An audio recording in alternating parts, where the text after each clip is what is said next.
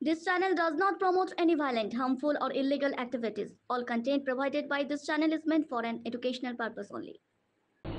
সোনার অলংকার তৈরির নামে কোটি কোটি টাকার প্রতারণা মদদাতাদের গ্রেফতারের পাশাপাশি ক্ষতিগ্রস্তদের টাকা ফেরতের দাবিতে প্রধাননগর থানায় বিজেপি শিলিগুড়িতে সোনার অলঙ্কার তৈরি করার নাম করে কোটি কোটি টাকা প্রতারণার অভিযোগ।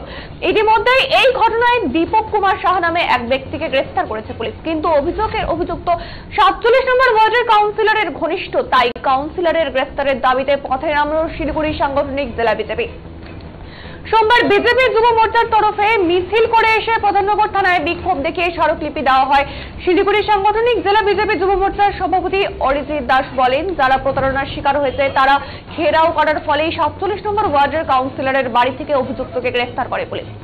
শাসক দলের মদত ছাড়া এত বড় র্যাকেট চালানো যায় না। তাই অবিলম্বে এই র্যাকেটের সঙ্গে যারা তাদের সকলকে গ্রেফতার করে র্যাকেট বন্ধ করতে হবে। তাদের গ্রেফতারের পাশাপাশি ক্ষতিগ্রস্তদের টাকা ফেরত দিতে হবে অভিযুক্তদের বিরুদ্ধে কঠোর ব্যবস্থা নিতে হবে।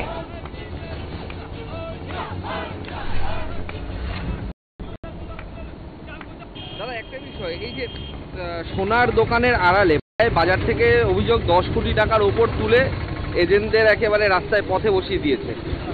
কীভাবে এর এই বিষয়টা নিয়ে তোমরা এগোচ্ছ এবং কীভাবে মানুষের পাশে থাকবে?